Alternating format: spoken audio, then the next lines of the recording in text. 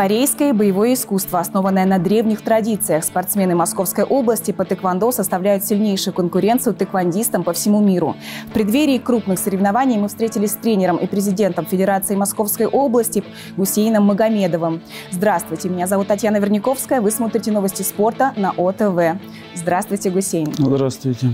Вы сказали, Московская область – центр тэквондо в стране. Так ли это? Ничего не изменилось? Да, на самом деле это так. Особенно последние 3-4 года мы являемся центром тэквондо России, потому что у нас проходят самые большие соревнования международного уровня и первенства, и чемпионата России. Вы президент э, Федерации Московской области. Вот какая работа ведется на этом посту? Да, с 2020 года я стал президентом Федерации Квандо Московской области. На самом деле, до этого у нас э, уже, не помню, когда проходила чемпионат России, первенство, и наши ребята ездили э, э, в другие как бы, регионы на соревнования, и не всем удавалось себя там показать, кто-то волновался, кто-то как. С этих пор у нас прошел чемпионат России, один из самых крупных за всю историю в России. Мы провели МГИМО как раз в Одинцово чемпионат России по взрослым, где как раз э, после Олимпиады, где сборная России взяла 4 медали, 2 золотых, бронзы, серебро. И они тоже были представлены как раз э, после награждения нашего президента Владимира Путина. Они прямо приехали на открытие нашего э, турнира. И мы провели очень шикарно на большом уровне чемпионат России. И оттуда у нас как раз после 2021 года началось э, все наши вот эти соревнования. Прошли, каждый год проходит турнир международного уровня, это Russian Open. Э, у нас уже, уже подряд он три года прошел. И намерение на следующий год тоже его провести на высоком уровне. Э, прошли у нас центральные федеральные округи, проходит первенство э, России. Всероссийский турнир у нас стал мастерский, который каждый день проходит. Имени Ларисы Евгеньевны Лазутин «Битва под Москвой», который проходит в МГИМО в Одинцово, где собирает 1500 человек. И в этом году у нас как раз проходит два первенства России. Это юниоры до 15-17 лет, это город Руза. А, и 1 апреля по 6 апреля пройдет первенство России по молодежке до 21 года. Это у нас в волейбольном центре как раз пройдет в Одинцово.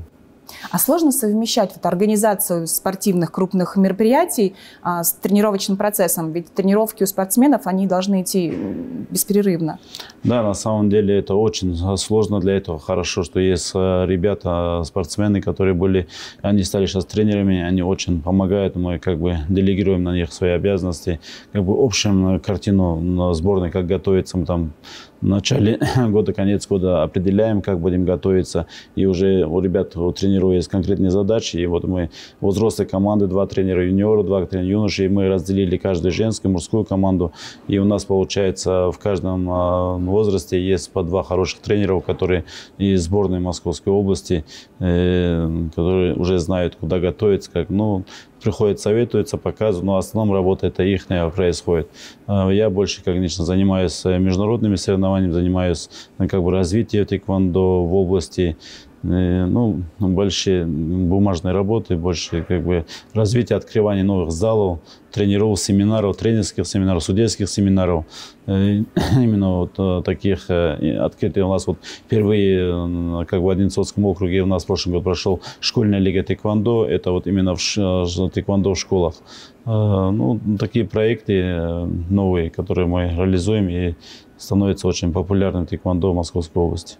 А, есть спортсмены, например, которых вы все-таки лично тренируете, вот берете под свое, так скажем, крыло и занимаетесь да, тренировочным есть процессом? спортсмены, мы как бы те спортсмены, которые более одаренные, которые мы видим, да, и берем, и есть юниоры, есть юноши, и в основном это взрослая команда, потому что взрослые ребята, они дополнительно нуждаются как бы в поддержке, постоянно с ними ездить на международные соревнования, да, таких человек 10 есть, ребят, которые э, под контролем у меня постоянно под контролем. Я каждый день смотрю, как они тренируются. Если даже меня нет, у меня сбрасывают видео их.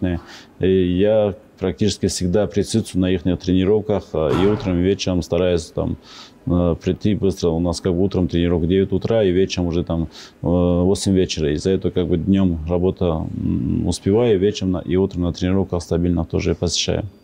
Ну, вы тренер с богатым опытом. Вот сколько, кстати, вы на тренерском поприще уже? Да, уже 24 года как работаю как бы тренером. Ну, уже большой стаж.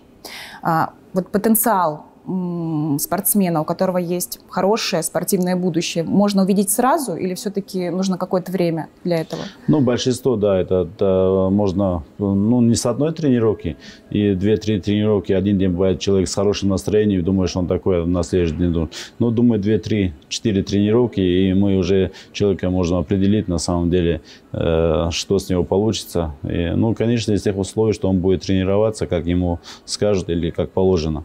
А так, да, большинство, 90% э, ребят мы сразу понимаем, что с него получится, и что как бы, ну, есть такие, которые своим упорством добиваются и показывают, что да, мы тоже могли. И, ну, но есть разные. Ну, большинство можем понять. Есть какие у него физические данные, какая реакция, какие мышления. Ну, вот, кстати, какие качества еще помимо физических развивает тэквондо? Э, ну, тэквондо такой вид спорта, э, обязательно надо быть умным, да. Э, какой бы там физически сильный не был, если нету логики, нету как бы разума, такого именно для спорта тэквондо там надо как бы хорошо играть в шахматы даже, да. Потому что тэквондо очень быстрый вид спорта, и здесь очень логика нужна. Как бы здесь просто гора мышц, она не поможет. Здесь обязательно должен быть спортсмен тэквондист, он развитый именно и морально. Давайте поговорим об успехах ваших подопечных. Какие трофеи удалось привести? Да, у нас за последние 3-4 года очень много ну, как бы, медалей. На самом деле, до возьмем последний чемпионат России, который у нас проходил в Нальчике. У нас в этом году 4 золота. Ни одной команды в России нет 4 золота. А, получается, ну, общей команды мы там заняли второе, третье место, а, потому что в других регионах были пятые, третьи, шестые места. Там ну, количество людей где-то больше. А так 4 золота ни у одной команды в России не было. Мы да, взяли 4 золота. Это только на прошлом чемпионате э, России. В этом году готовимся, думаем, мы хотим его как бы подтвердить такой же. А так, на самом деле, у нас есть чемпионы Европы, призеры Европы, э, международных соревнований очень много. В сборной России, в Московской области ходит 19 спортсменов. Это очень большой, как бы, у некоторых регионов даже один спортсмен там еле входит. Ну вот сейчас самая такая, самая значимая для нас, это проходили Европейские Олимпийские отборочные игры э, Болгарии, Софии, где на, в Париж 2024 отбирали спортсмен. Да, у нас попала девушка Хамполина, она является у нас пока вторым зачетом. Как бы мы еще как бы своих не выросли на такой уровень. У нас есть чемпион Европы, чемпион. Ну, я думаю, к следующей Олимпиаде у нас уже будет свой спортсмен, который вырос с детства и жил здесь, в Московской Да, области. вот вы меня как раз опередили мой вопрос. А, конечно, мечта любого тренера и спортсмена – это Олимпийские игры.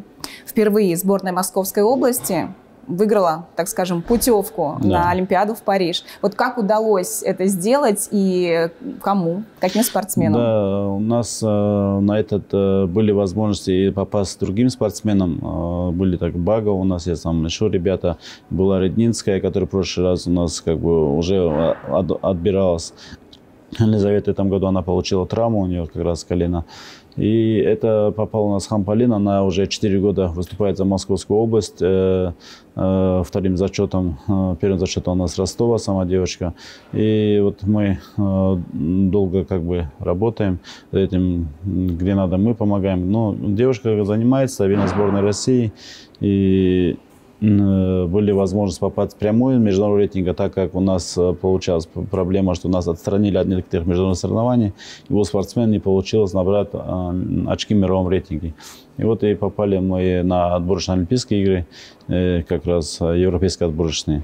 И вот она смогла там добить путевку, и она является, ну, как бы Московская область впервые будет представлена на Олимпийских играх ну, для кого-то это э, большая как бы, заслуга, удача. Для кого-то, может и так, но всего с России представляет э, на Олимпийских за 4 года это всего 4 спортсмена. Конечно, для нас это большой успех, на котором уже будут, наверное, другие равняться, молодые дети, спортсмены. И я думаю, что у нас будет больше и больше подъем. Да, вы правильно сказали, что многие виды спорта сейчас сталкиваются с тем, что они не могут поехать ни на Олимпийские игры, ни какие-то чемпионаты Европы и мира. Вот как у вас складываются отношения вот с этим международным сообществом спортивным? Да. У нас с Международной э, Федерацией Тэквондо очень хорошие отношения. Мы очень близко с ними общаемся, дружим. И на самом деле именно благодаря нашему президенту Союза Тэквондо России, это Терехов Анатолий Константинович, он очень э, близко общается как раз с э, президентом Федерации Всемирного тэквондо, доктором Чо, и, получается, является вице-президентом Э, мирового и европейского тэквондо. И это нам очень помогло э, как бы удержаться на плаву. Ну да, мы не выступаем на всех соревнованиях, но а такие именно как отборочные или такие важные соревнования нас как бы э, допускают. Там, ну, резерв, там, юноши, юниоры нас нигде, не везде выпускают, а именно те спортсмены, которые должны были попасть на Олимпиаду, нам дали шанс, вот дали Китай, там был там как раз Кубок Большого Шлема, чтобы попасть, у нас там оттуда попал человек на Олимпиаду Олимпиаду на Сларин как раз. И вот три спортсмена попали именно в европейское. Именно за то, что Россия является одним из мировых э, лидеров тэквондо, потому что в прошлый раз в Токио мы заняли первое командное место. Два золота, бронза, серебро, ни одна команда не смогла сделать, и мы были первыми. И такие хорошие отношения мы, потому что проводим и соревнования на больших уровнях, и выезжают спортсмены как бы благодаря президенту Федерации России мы смогли вот так удержаться на плаву. А кто все-таки главный конкурент э, сборной России в мире? Да, главный конкурент сборной России в мире это, конечно, также Корея, которая всегда она была и есть как бы одна кузница. А также Иран, а также Турция, а Франция, Испания – ну, тэквондо Европы очень сильно развито. Вот, э, те страны, которые Италия, Франция, Испания, э, Сербия, там, и эти такие именно гиганты, которые очень сильно развивают, культивируют у себя именно тэквондо, именно и женское тэквондо. Да, что скажу одно из такое, что в мире 50% наверное, э, тэквондо занимается женский пол, потому что здесь руки, ноги не ломают, не крутят, и в основном все так, все стройно, и большинство у нас э, популяции среди женщин очень высокая. И получается, что в Европе очень сильно развито именно олимпийское тэквондо. Ну, мы будем следить за нашими спортсменами, обязательно будем смотреть Олимпиаду. Это огромное вообще событие для Московской области, для тэквондо. Да. С 14 по 20 марта пройдет первенство России по тэквондо в РУЗе. Э, расскажите, сколько спортсменов примет в нем участие и как удалось подготовить спортсменов? Да, на самом деле мы взяли на себя такой риск в этом году провести два первенства России. И первое первенство как раз у нас пройдет РУЗа под, под Одинцовой, как раз соседи нам. И были риски, что мы не сможем на высоком уровне провести первенство России, но там находится как раз большой центр э, плавания. Там, э, и мы смогли договориться и сделать там большое вот это первенство России. Будет участвовать около тысячи спортсменов, и это именно которые прошли отборы в своих регионах, э, как бы юниоры 15-17 лет.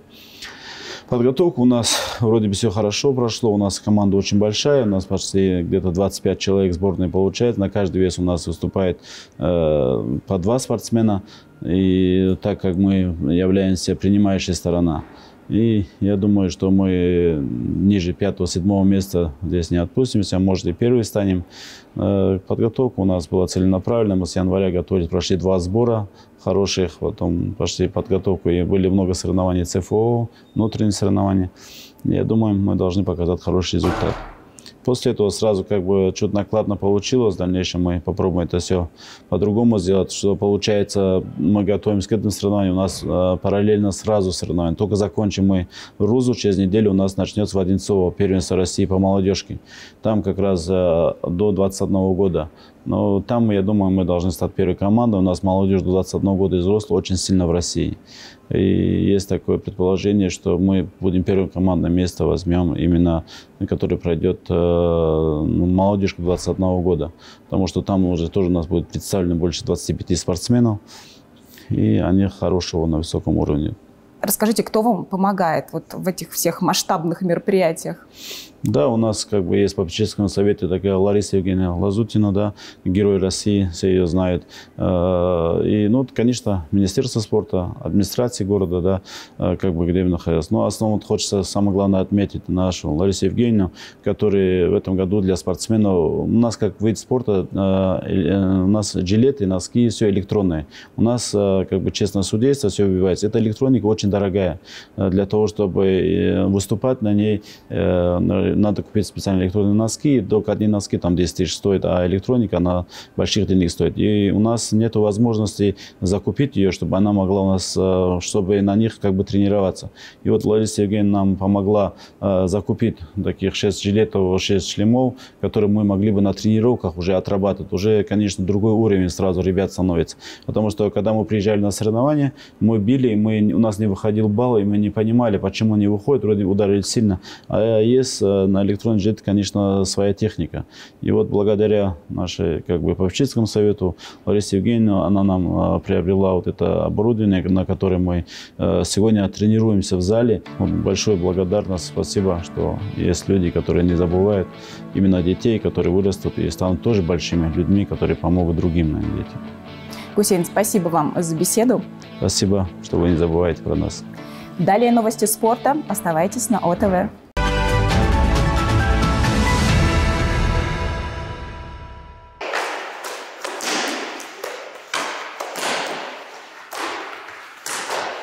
Хорошая растяжка и наработанные удары правой ногой считает своим преимуществом Софья Заворыкина в тэквондо 7 лет. Начала постигать азы восточного единоборства по спортивным меркам поздно, в 13. Но тем упорнее ее настрой и, кажется, с волнением тоже справляться научилась. У меня тренер раньше говорил, что нужно не думать. На чистую голову все лучше получается. Я стараюсь вообще отключаться, не мыслить, что там у меня бои или еще что-то. Просто выхожу уже на корте, думаю и работаю. Проявить себя и свои способности предстоит на первенстве России по тэквондо среди юниоров. Престижный турнир пройдет с 14 по 20 марта в Рузе. Более тысячи спортсменов из разных регионов страны будут бороться за призовые места. Мы уже прошли э, несколько этапов подготовки. У нас была физическая подготовка, сейчас у нас уже предсоревновательный этап. У нас будет э, уже снижение нагрузки. Завтра спортсмены будут проходить мандатную комиссию и уже 15 числа первый день соревнований. Сейчас, когда вы спарринг делаете, добавьте еще защиту и сложную технику. Около 20 наших спортсменов будут выступать на первенстве России в марте, а далее небольшой перерыв и новые соревнования, которые пройдут в начале апреля в Одинцово. По мнению старшего тренера, его подопечные к ним готовы. Физически они все готовы, главное, чтобы у них психологически было все в порядке. Ну, стараюсь объяснить, что они выходят делать свою работу – не просто у них э, поединок, там они выходят драться, а они именно делают свою работу. То есть вне зависимости от того, они пропустят или возьмут бал, не нужно на это обращать внимание. Пропустили, ничего страшного. Взяли, то же самое. Нужно сохранять хладнокровие и ну, продолжать делать свою работу поднять на недосягаемый уровень тэквондо в стране и в мире. Такие задачи ставит перед собой Федерация Московской области во главе с президентом Гусейном Магомедовым. Несмотря на все притеснения со стороны международного сообщества, к своим целям идут уверенно. Татьяна Верняковская, Денис Харламов, Станислав Трифонов, телекомпания «Одинцова».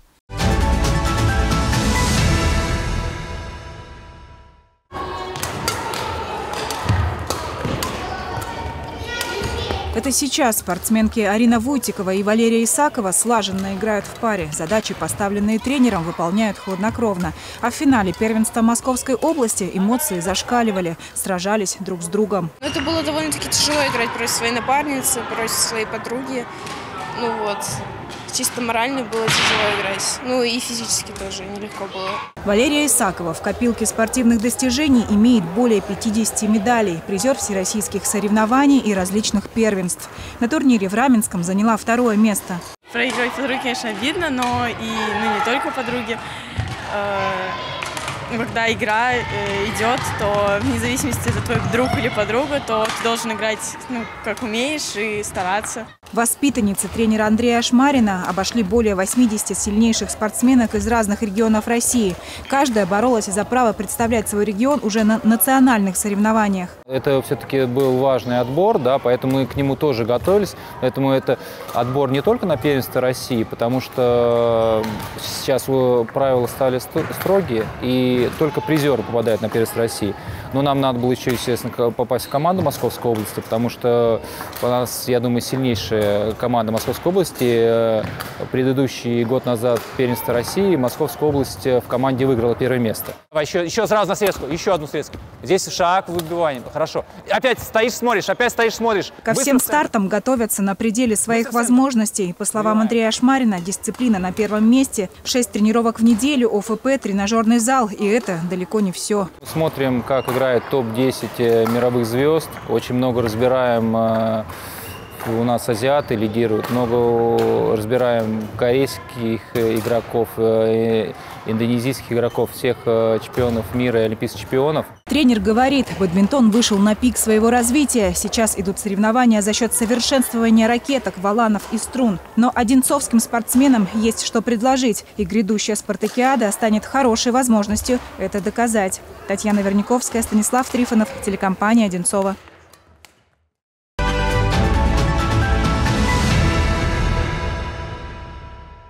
Счастливый жребий выпал лингвистической гимназии в начале учебного года. Наставником их волейбольной команды стал главный тренер клуба «Заречье Одинцова». И вот профессиональный спортсмен проводит мастер-класс для ребят.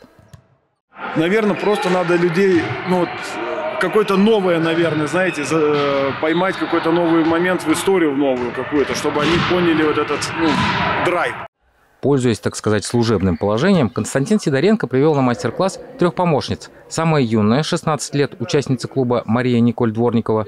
Самый высокий игрок российского волейбола Валерия Козлова, 2 метра 6 сантиметров. И Мария Бугаева, спортсменка с самым большим игровым опытом в клубе. Даже на переменах начали играть, прибегать, играть в волейбол. А мы с удовольствием ходим на все матчи. И наши дети приводят родителей, бабушек, дедушек, чтобы болели за нашу любимую команду. В 3-4 раза увеличилась посещаемость матчей за речи Одинцова, рассказывает директор клуба Демьян Сидоренко. Сейчас спорт находится в поиске своего места в новых политических условиях. Нет международных соревнований, надо заново отвечать себе на вопрос, зачем теперь нужны профессиональные клубы. Раньше был спорт высших достижений, перекрыли, значит, мы должны стать двигателем массового спорта. И вот наша задача, да, как бы максимальное вовлечение детей в волейбол, интересы к этому волейболу. На мастер-классе гимназисты не просто получили советы от специалиста. Спортсмены отработали некоторые задания, грандиозные волейбольные эстафеты, которые пройдет 31 марта на площадке клуба «Заречье Одинцова». В большом празднике примут участие десятки команд школьной лиги и волейбольной семьи. Судя по репетиции, это будет не только азартно, но и весело. Тимур Гайсин, Станислав Трифонов, телекомпания «Одинцова».